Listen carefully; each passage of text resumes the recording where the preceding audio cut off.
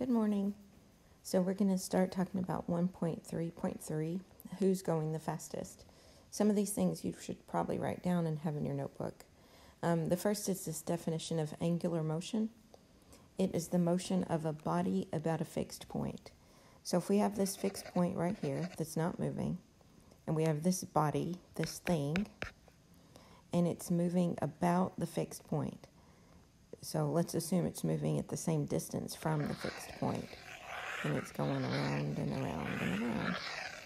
And however far it goes, let's just say that this body or this thing just moved this far. Well, we could see that as an angle, a movement, angular motion. So it's how big is the angle that that body moved. And angular motion is used to describe the motion of planets, pendulums, and objects such as wheels. So, very, very, very um, useful in today. It's generally measured in the change in the angle versus the change in time.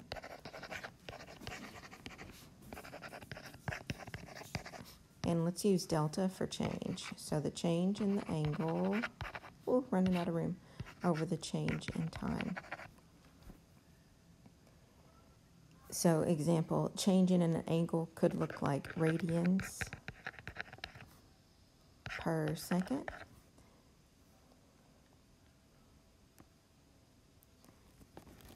Where radians is the change in the angle, and the per second part, I guess I should put it like this, is the change in the time.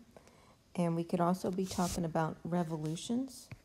How many times does it revolve or go around per minute? And so we're going to start with 1 129. It says two runners are going to race around a circular track. One runner must run in the inside lane, the other must run in the outside lane. Eh, not exactly perfect, but you get the idea. The outside lane is 15 feet to the right of the runner on the inside track. So if we've got a person on this inside track running around, this outside lane is 15 feet from the runner on the inside track. The starting gun goes off and the runners take off, running at the exact same speed. Who wins the race? This person or this person? Explain your reasoning. So, if you've ever run um, on a track, maybe around a football field, normally, and it's not usually circular, it's usually more oval. Um, normally, it's staggered, like this runner in the first lane, second lane, third lane, fourth lane. There's usually six, but I'm running out of room. So this person on the outside lane has to run the fast the farthest because they're on the outside part, so they get to start ahead of the others. But then the finish lane, if I'm remembering right, the finish lane is the same for everybody. So they take care of the difference between the lengths of the track based on which lane you're in by staggering the starting points. So this person back here has the shortest distance to run, but they have to start further back. So in the end, they should, this staggering should take care of the difference between the circumferences of each of their tracks. But for us, for this example, our runners are starting even and they're saying who's going to win the race. Well, the person on the inside track will win the race because they don't have as far to run. Um, 1 130. A wheel is spinning at 500 revolutions per minute. So we have a wheel and it is spinning 500 revolutions per minute.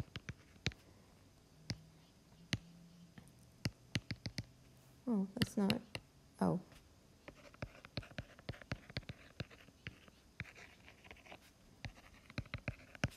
So you've got, here's where the wheel is stopped, and here it goes. It starts spinning. One revolution, two revolutions, three revolutions. It does that 500 times a minute, so it's really fast. Um, how many radians per second is this? So these are measures of angular speed that we just talked about.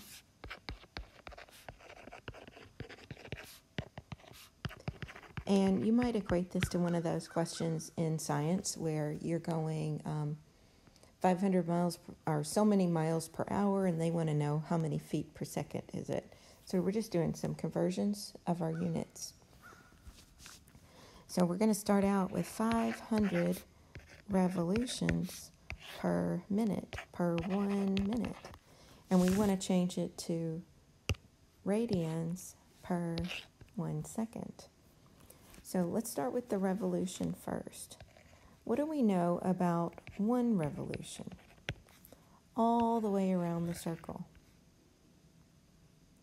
We might know that it is 360 degrees all the way around the circle, but since we're trying to get to radians, we also know that one revolution is 2 pi radians. So we can do a conversion right now with revolutions, putting it on the denominator to make it cancel, and 2 pi radians on the top. Remember, radians doesn't have a unit. If there is no unit, it's understood to be in radians. So now we've gotten rid of revolutions, but we still have per minute and we want per second. Well, we also know that one minute is 60 seconds. So we'll put the minute in the numerator so it can divide out with the minute in our denominator. So minutes are gone, and we get 500 times 2 pi times 1. Well, that's a 1,000 pi over 1 times 1 times 60 seconds. Um, let's divide these both by 10 and 100 over 6.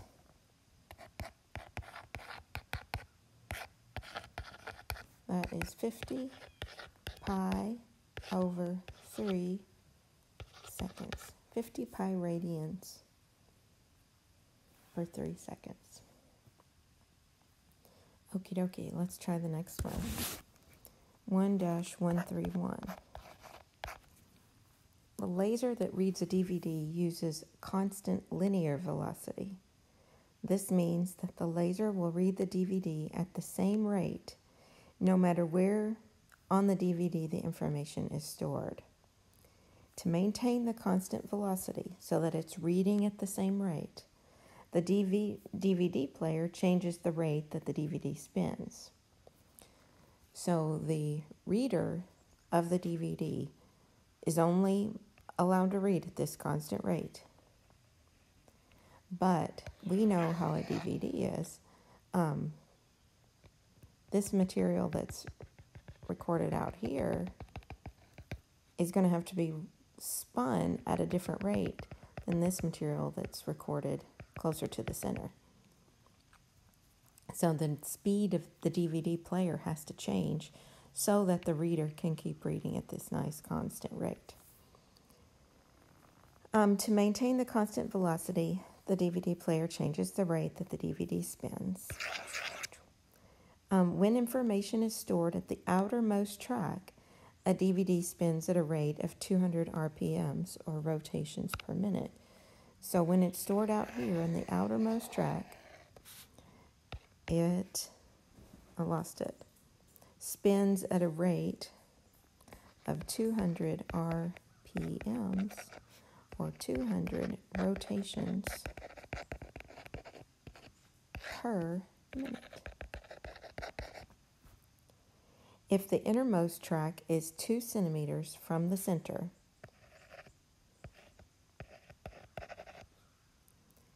um, and the outermost track is 5.25 centimeters from the center, I don't know how to show this. I guess I'll just do this 5.25 centimeters from the center. How many RPMs must the DVD spin to main at how many RPMs must the DVD spin at to maintain constant linear velocity when the laser is on the innermost track? Okay, so we're going to step through this one point at a time. So A part says, what does it mean to have constant linear velocity? Because it said that it uses constant linear velocity. Velocity is speed, and constant means the same, it doesn't change. So that means the speed doesn't change. So speed, if you think about miles per hour,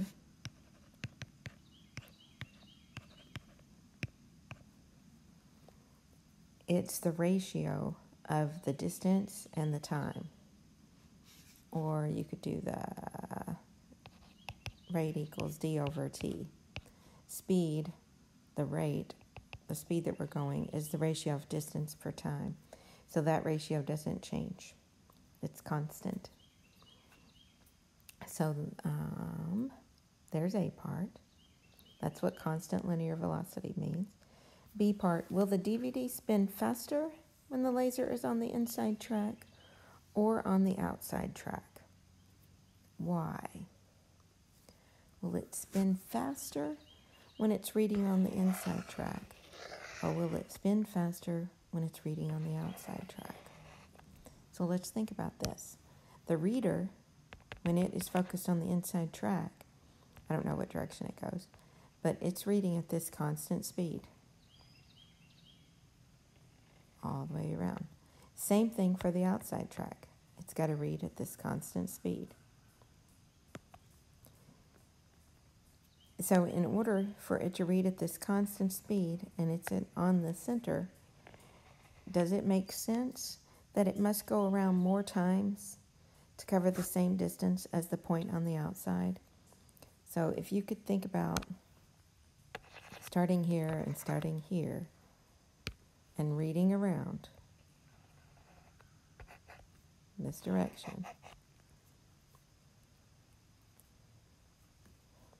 So think about the distance covered here on the outside track compared to the dis- that same distance covered on the inside track. So when it's on the inside, it's going to have to spin faster. The DVD has to go around more times on the inside track to cover the same distance so it will be spinning faster on the inside. I'm not super conceptual, so this part is a little bit um, difficult for me. And if it is for you too, we can talk about it again on in class on Wednesday. All right, C part. How far does a point on the outside track travel in one rotation? So here we are on the outside track. How far do we travel on one rotation? Well, how many centimeters per rotation are there? Would you agree that that's kind of a circumference idea? How far around the circle are we going? So we have c equals pi d, or we have this formula c equals 2 pi r.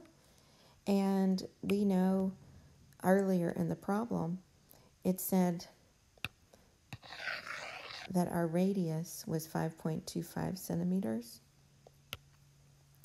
So it's 2 pi times 5.25, which would be 10.5 pi.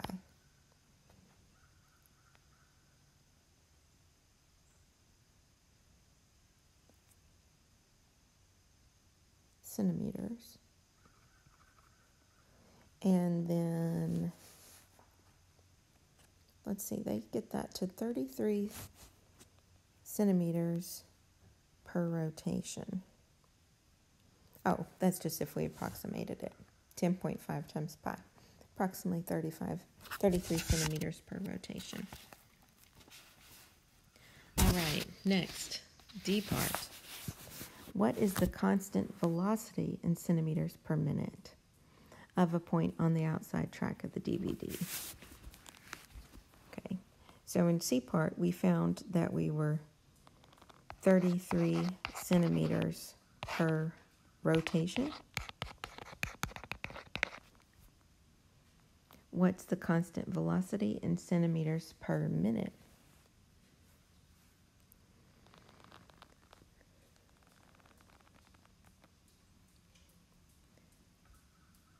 So if we take that distance as rate times time,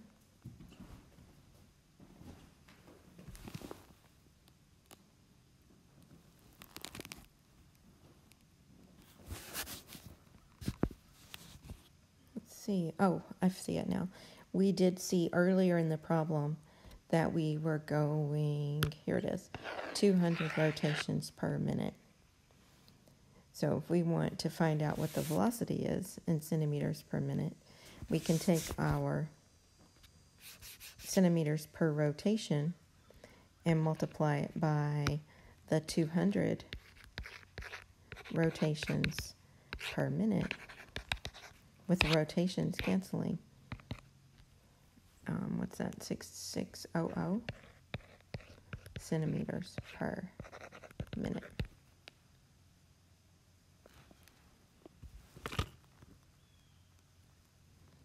Okay.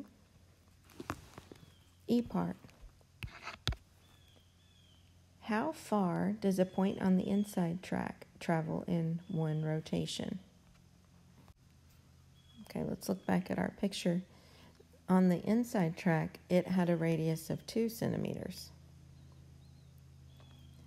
So we're talking about circumference again. So C equals 2 pi r. So it's 2 pi times our radius which was two centimeters. So it's four pi centimeters or 12.566. I'm just going to say 12.6 centimeters per one rotation.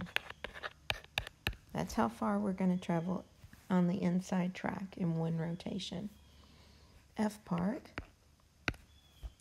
How fast does the DVD need to spin when it's reading information from the inside track if it needs to maintain the same velocity you calculated in part D?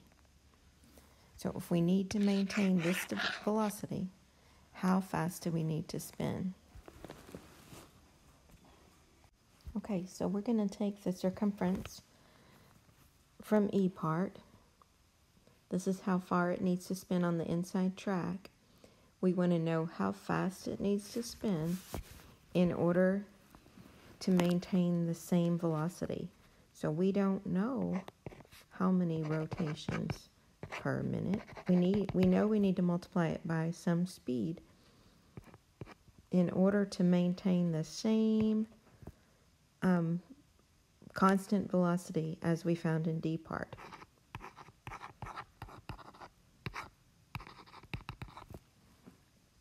Okay, so we need to figure out how many rotations per minute. So we could just divide both sides by 12, whoops, 12.6 centimeters per rotation. Divide this side also by 12.6 centimeters per rotation.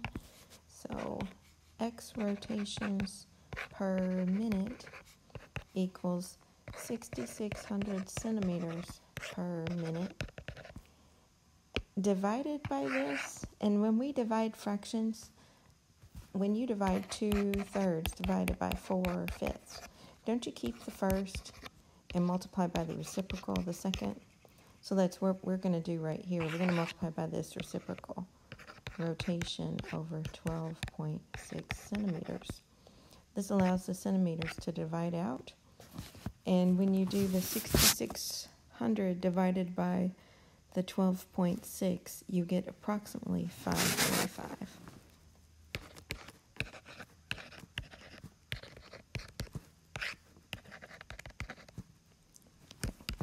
All right, that wraps up this section, and I bet you are going to have some questions for me, and we can talk about them on Wednesday.